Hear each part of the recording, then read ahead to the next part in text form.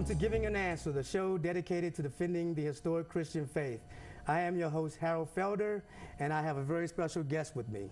Now, a lot of times when you watch my show, we're talking about all these, you know, abstract concepts. We're talking about God. We're talking about, you know, things about this and that, things that are that are factual, that sort of removed from people in general.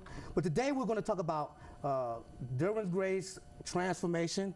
He actually is going to give us an, another look at, at some of the stuff. He's going to actually, we're actually going to be able to see the power of Christ in someone's life. I mean, we, we use apologetics to try to bring people to Christ, but we're actually going to see what Christ does in someone's life. And let me just tell you a little bit about Derwin, just a little bit.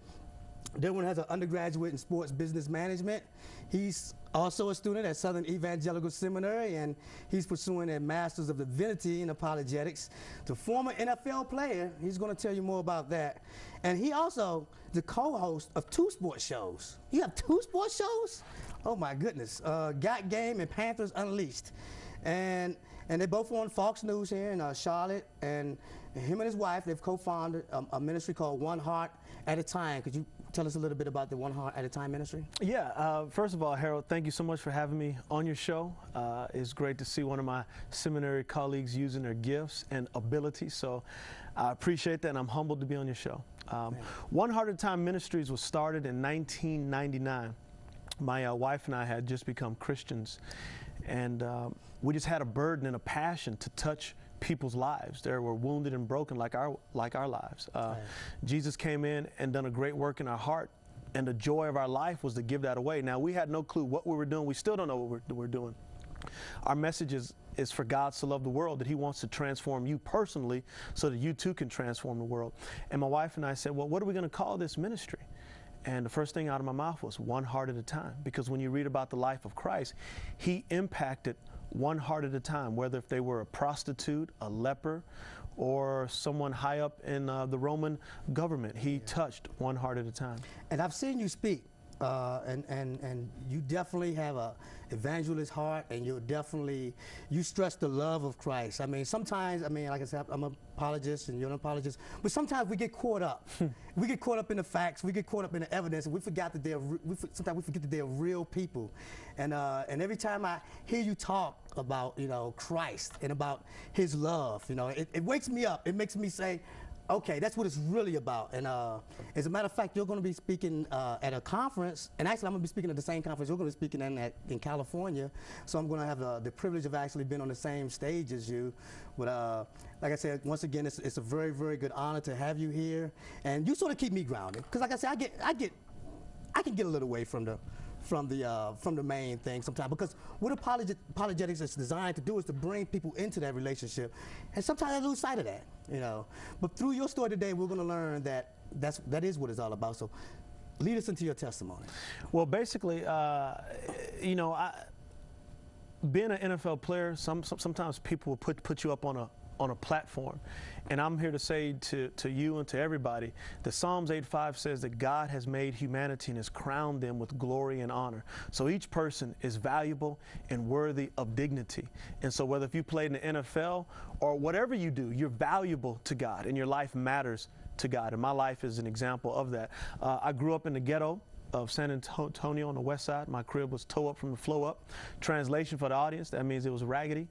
And, and, so growing up in my hood, the only way out was football. So in my life, I bought the American dream that if I could have an NFL career and succeed and get money and give money to my family, that my life would be transformed and changed.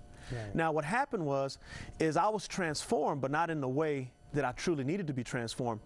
My ghetto moved from the ghetto of my environment to the ghetto of my soul. In other words, materialism became my ghetto.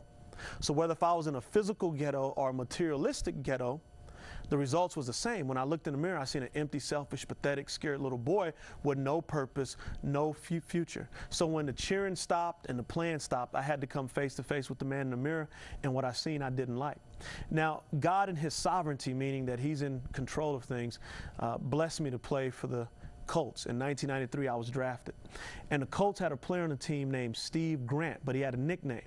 His nickname was the Naked Preacher. Now, he got that nickname because every day after practice, he would take a shower, dry off, and wrap a towel around his waist. Imagine this African American, six foot two, 240 pounds, with gold fronts, walking around the locker room going, do you know Jesus? He literally would walk around the locker room and share Jesus. What was amazing is everyone respected him because his life was authentic, not perfect, but authentic. They seen that he really believed what he said. They seen that Jesus was the treasure of his life, the way he played the game, the way he interacted with fans, and the way he interacted with guys in the locker room. So one day, my rookie year, he asked me, do you know Jesus? And I explained to him that I'm a good person. I'm the only male in my family over 20 not to have a drug problem. Only male in my family over 20 to graduate high school, let alone college. Only male in my family over 20, you know, to not have a child outside of marriage. So therefore, I thought I was a good person. Right. But then he done something that changed my worldview. He opened his Bible and he showed me Romans 3:23 that says we've all sinned and fall short of God's standard. Well, what is God's standard for us? Well, Jesus said it in Matthew 5 4 8. He said, Be perfect as your Father in heaven is. Well, I know I'm not perfect in any way. So the wheels began to spin, and I said, Naked man, what am I supposed to do to be perfect? I can't do anything. I've blown it. He says, Now you're starting to get it. And he explained to me, Jesus died for your sins. He rose again on the third day, not just to go to, to heaven, but to live his life through you and to fill your life with his love, purpose, and me- meaning. Now, this is a five year process of him chasing me around the locker room naked. Now, when you say a five-year process, what do you mean? Do you mean the first time he came to you, you just rebuffed him, or? Oh yeah, absolutely. I didn't. I didn't have time for, for that. You know, when things are going well, we don't have time right. for God. Right. But towards the end of my career, I started getting injuries, and when I was flat on my back, I began to hear the voice of God. In August 2nd, 1997, uh, by the way, the voice that was always there that I didn't want to hear, but now I had ears to hear because I was laying flat on my, my back. August 2nd, 1997, my fifth year in the NFL with the Colts, uh, it was right after lunch. It was training camp. And I called my wife and I, I said, honey, I want to be more committed to you and more committed to Christ. And at that moment, something happened. I was radically transformed and changed. I had never read a book from front to back, and I began to devour books. I began to devour the Bible, and I began to share Christ. It was just overflowed out of me. I wanted to share this marvelous light that I had found. Now, what you got to understand is I didn't come from a quote unquote overly religious home. We were Jehovah's Witness by name. So, what I grew up with was, you know, Jesus isn't God, you never go to church but yet in our home that was ne- that was not lived. And then I got a football scholarship to Brigham Young. Now imagine this: I'm from the ghetto, Latinos, African Americans, some right. Caucasians. Then I, I go to BYU in the mountains in Utah, where everybody's Mormon and white. And so it was like a culture shock. But it was great though because God taught me how to get along in diversity.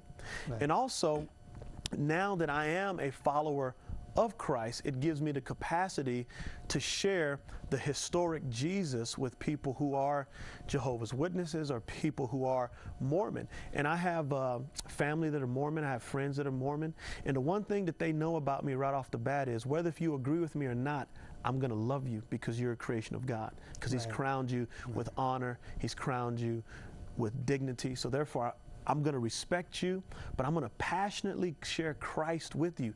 Not just any Christ, but the historic Christ of the Bible.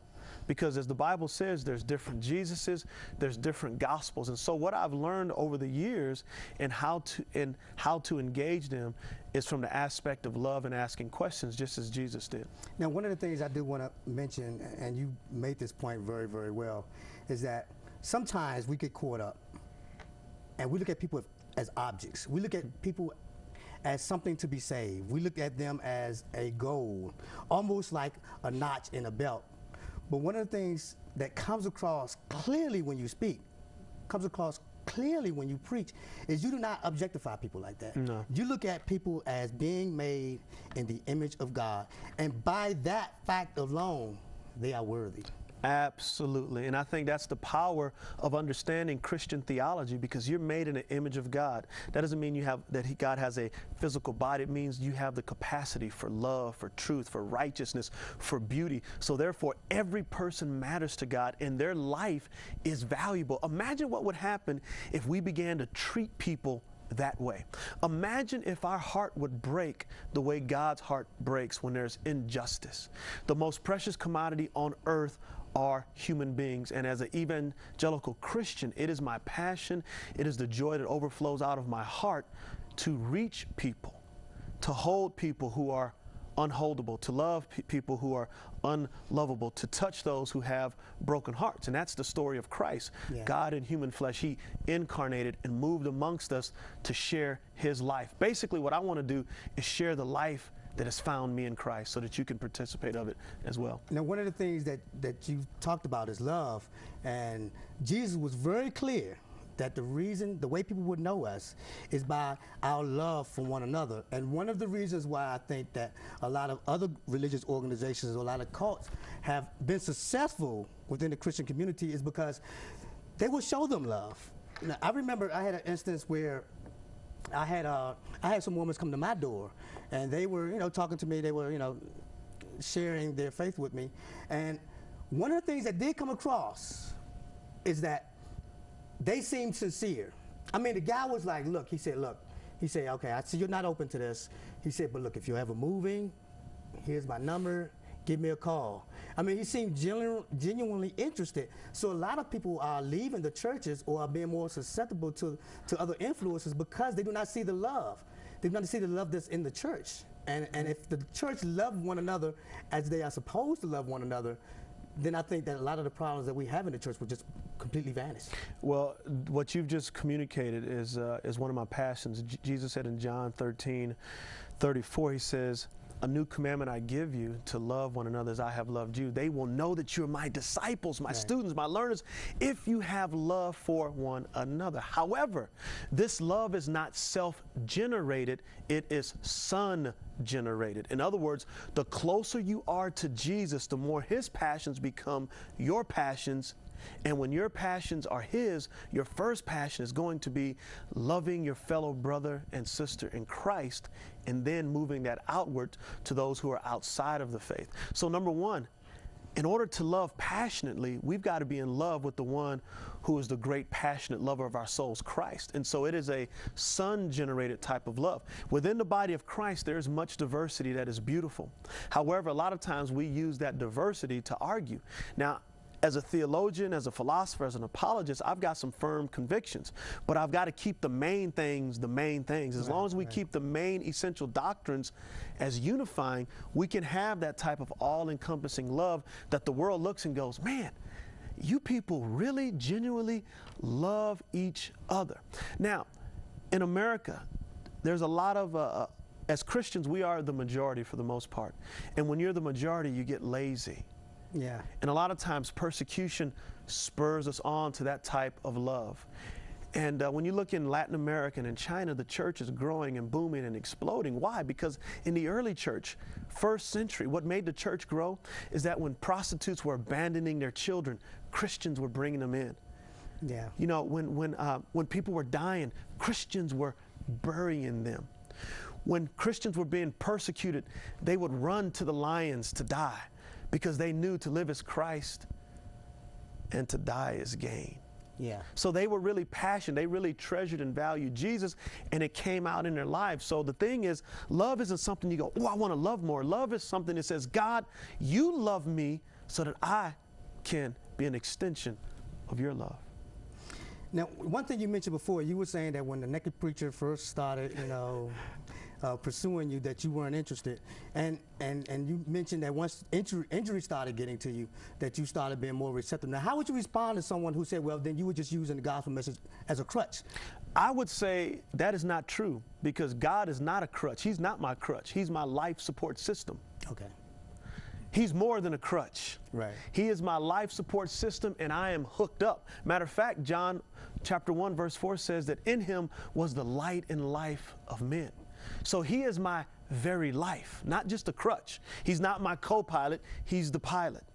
He is my life, Colossians 3 3. So I would agree with them absolutely. Yeah. Now here's the key though. For the person who says, well, God is just a crutch, is not their car their crutch? Is not their job their crutch? You see, we all have types of crutches and support systems. The question is, which one is dependable and reliable? That's the question. Yeah, because a lot of times we, and, and, and you make very good sense because what you're talking about is actually what, what happens to people in general. When things are going good, we don't even listen for God. I mean, we, God is just over there somewhere. But it's only when we're feeling pain, it's only when we're struggling that we even look out for God. Look at 9 11. Look how many churches were filled after 9 11. Because people say, well, you know, there is something more. You know, when people were feeling pain, people were hurting, then they started looking for God. You know, unfortunately, people sometimes, a lot of times, only look for God when they're in pain or when they're hurting. And that's a shame because they're looking at God as some kind of a spare tire. When God is the sustainer of us, but sometimes we, what does C.S. Lewis say? I, I can't remember his exact. He, he said that God shouts at us in a megaphone through pain. right. And uh, King David said in Psalms 119, verse 71, he said, It was good that I was afflicted, that I may learn thy ways. And God's rival is us trying to be our own gods. And when we realize our utter helplessness, that's when we truly begin to seek after Him. And so I think that suffering and pain is a way in which God brings us to Himself. And what's beautiful about the God of Christianity is He incarnated. That means to put on flesh. And He entered into our pain and our suffering. He knows how a tsunami victim feels. He knows how a cancer patient feels. He knows how people who've been destroyed by war feels because all the sins of the world were put upon him. And he felt that pain. Yeah. And what's beautiful is that he gives us victory over that pain because three days later, he rose from the dead. I heard uh, Dr. Habermas, one of the professors at Southern Evangelical Seminary, was he made this very good point. He was talking about, uh, I think he wrote a book about pain, and uh, one of the things he said was that, particularly when we lose a loved one, we say, "Well, where was God in that?" And what we fail to see is that that person belonged to God first, you know. And if God would give up His only Son, I mean, that God feels the pain too. We look at God as just some guy way out there who's sort of untouched, sort of indifferent. But no, like you were saying, He's feeling our pain. You know, every every one of us who has a loved one died, that was that was God's creation. God felt that pain. And when Christ, son, when, when uh, Jesus, when Jesus was on the cross, God's own Son, He felt that pain too. It wasn't like He was He's indifferent. He's not. He's anything but indifferent. If He was indifferent, there would be no Christ upon the cross. Exactly. You know. Exactly. Uh, and the question I, pro- I propose to you, myself, and our audience is how would you live if you knew you were dying? How would you treat those around you if you knew you were dying? How would you worship God if you knew you were dying? Well, we are all dying, some sooner than others. So let's get busy living. And the only way we have true life is Je- Jesus says, the still, the enemy comes to steal, kill, and destroy, but I come to give life and life to its full. And so that's beautiful about our God is he's not distinct or remote. He entered into our pain and he got his hands dirty. He got snot on his nose and threw it off and said, I'm going to the cross and I'm going to resurrect to give you power and hope. Our world needs hope and Jesus is the great hope of the world. And for those of us who follow Christ, Colossians 1:27 says that Christ in us, the hope of glory. Now, okay, let's get back to the, the naked preacher. All right, now he's chasing you for five years. Now, uh, what's happening? I mean, what's happening over these five years? Well, yeah, I'm, well, basically, I'm gaining success in the NFL. I've become a two-time Pro Bowl nominee. Uh, I've got a beautiful wife. We got married in college. Um, I've, I've, I've got a daughter. Uh, my investment portfolio is growing. I'm able to buy my family cars. I'm able to do things I've always wanted to do it. Go to nice restaurants. People want my autograph. I am living the American dream, but it turns out to be a nightmare because I'm empty. And so as he's chasing me around the locker room, my God begins to fail me. And you know what my Mm, your God, your, your, your wealth, your. well, even deeper than that, my true God was me. Five foot Ah, 11, okay. 205, 4 440, 38 inch vertical leap. Okay. And all of a sudden, my God, me, starts to get injured. And my God begins to let me down. And as a man, my identity was wrapped up in what I did. So if I lost my football job, who would I be then? See, I didn't understand that I was made in God's image and I'm valuable, not because of what I do, but because He made me. Right. Who would I be then if I lost my job? I'd be a no one. And so I lived in fear of losing my job because I would lose myself. But as I began to experience injuries, the voice of God began to call me. And I'd begin to read my Bible. At first, it was like reading somebody else's, someone else's mail, but I'd read it on the plane and I'd start reading. I'd start listening to the naked man, and I wouldn't let him know it, but I was watching his life, and then God would bring other Christians around the team. And by the way, I gave them a hard time. I'd make fun of them when they were reading their Bibles. Mm. But these same men that I would make fun of were the same men that would surround me and answer my questions and help me. That's yeah, that's that's very powerful. So he's chasing you around, and you're starting to see the light. But what what did it for you? What eventually made you make that commitment? Well, the only thing that I can look to is, um, like I said, August 2nd, 1997, in a small dorm room, Anderson, Indiana, my fifth year with the Colts, in training camp. You know, you're away from your wife and your kids. It was right after lunch.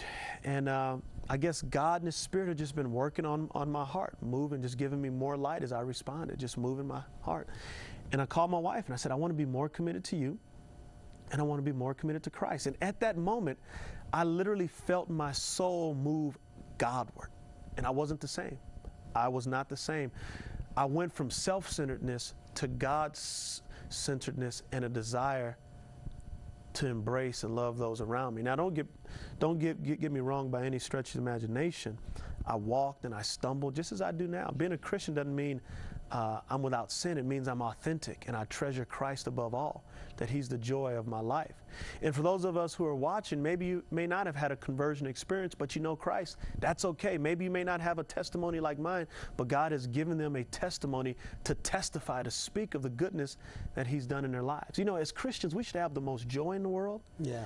Uh, our lives shouldn't be wasted because we've been impregnated with the very life of God Himself to impact history, to change our families, to fight social injustice, and to live lives that reflect Jesus. That's where joy is. That's where passion is. That's where excitement is. People ask me all the time, Do you miss playing in the NFL? And I say, Nope. They say, why? I say, because every day in Christ, whether if I'm at the coffee shop, whether if I'm playing with my kids or talking to my wife on a date, no matter what I'm doing, it's an opportunity to worship God. I was fishing the other day in Florida. I was speaking at the University of Florida. I had a day off, so I went to fish and I caught fish, and some of the college students and high school kids were around me. So I was looking at the fish and looking at the design and be, and beauty, saying, you know what, we can glorify and worship God because of His creation in all things. When we fish, we don't have to pray just when we eat. When we go to Carowinds, we can worship and thank God. You see, our joy, our portion is Him, being satisfied in Him. So then your fear was gone. Uh, I wouldn't, on one level, it was gone, but I would be lying if I didn't say I don't have fear. Last May, my wife was diagnosed with thyroid cancer. Of course, I have fear. Right. Absolutely. Uh, and by the way, she's doing great. We've That's gone good. through the treatments, but God even used that suffering to identify with us and to encourage us and strengthen us. But yes, there's fear. I mean, we wouldn't be human if we didn't have fear. But however, Jesus said this in John 16 33. He says, In this world, you will have troubles. But then he says, Take courage, for I have overcome this world. So I have to give my fear to Christ. I have to say, Jesus, I'm needy. Now, for a man to say that is pretty radical, but for all of us, we're needy. Right. God, I'm needy of you. I've got fear. But since you've overcome the world and since you're my God, my friend, my source of life, I give that fear to you. So, how did your football career end? How did that? Well, my football career ended in 1998. The last game I played in was in Texas Stadium against the Dallas Cowboys. And I was running down. I hope y'all beat them. Uh, actually, uh, we didn't. No. Okay. But I have beaten the Dallas Cowboys. Now, growing up now, now good. growing up in Texas, you was a Cowboy fan, so I was a Cowboy fan. I'm from D.C. And I know, and and and God will forgive you. His grace is good enough to forgive a red skin. His grace is sufficient. His huh? grace is sufficient. so I didn't like Joe Theismann, oh, Dexter man. Manley. Oh, now I like Darrell Green though. Yeah. I yeah. like my man. I like Riggins back in the day. Yeah, he used to hurt me. Yeah. Oh, they used to. I actually had very uh, uh, uh, many conversations with Joe Theismann when he come to our games and stuff. So okay. it, it, it's cool. But so I'm playing against the Cowboys. I run downfield and I'm doing something I do a, a hundred times. I'm just blocking off a guy, and he goes one way, I go the other way, and then all of a sudden I hear ligaments snap and bones break, and I know I'm hurt bad. So I'm laying down in Texas Stadium. Now Texas Stadium has a big hole in the roof. You know why, right? Because God, yeah, Because so that God can look down and see his favorite team, I think yeah. I heard that from you. Yeah, but I didn't like the Cowboys at the time anyway, so we'll throw that joke out. Okay. So anyway, I'm laying down, I'm hurt, right? And I just become a Christian. I'm like, okay, God, I know I'm hurt bad. I heard bones break. I'm in intense pain, but I trust you. I'm not going to pray for a day, but I trust you. As a result of that injury and some previous ones, it began to move my passions onto something else. As a result of that injury now, I've gotten to share the gospel, the great news of God's great love and power for humanity to over 40 million people via TV, 40 million? 40 million TV, radio, uh, speaking engagements. I believe God has allowed me to play football to have a platform for what I'm doing now because the NFL opens the door. Now, you know what the NFL stands for? It stands for not for long. So, God gave me that not for long career to give me this career. Now, you can be in the NFL and worship and, and any occupation you have, you can glorify God. But for me personally, it was my calling to play for six years and then to move on. Uh, now, this is between just you and the audience and my, myself.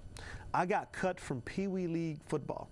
At eight years old, I got cut from the team. Have you ever heard anybody getting cut from Pee Wee League? You know how bad you got to I be don't to think I got cut from Pee you, you know how bad you got to be to get cut from Pee Wee League? That's like not being able to chew uh, uh, bubble gum and walk. Right. And so for me to make it to the NFL after getting cut from Pee Wee League is astonishing. And I see the providential hand of God saying, I'm going to allow you to play. You're going to work hard. You're going to sweat. You're going to bleed. You're going to pay for it. But I'm going to give you this platform so that now you can go as my ambassador to make an impact in this world. And every believer has that platform, whether if you're at home with your children, whether if you're on the Harold Felder show, no matter what your platform is, God has given it to you to impact history, Yes. which is his story. There's a big story, God is the star, and there are sub stories that you and I play a little part in that. Now, this has been a great show, but we've just scratched the surface, so we're going to have actually come back. I'm actually to come back and we can do this again and, and pick up right where we left off at. Is that is that all right with you? That'll work. Okay, then that's going to bring us to a close for this show.